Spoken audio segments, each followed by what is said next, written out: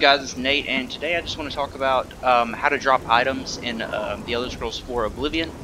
So what you're going to do is you're going to go to your inventory by pressing the, uh, I switched my keys, so for me it's the tab key, and then you're going to go over to your uh, item that you want to drop, and for me I'm just going to shift, you're going to hold down the left shift button, and then you're going to left click whatever item you want to drop.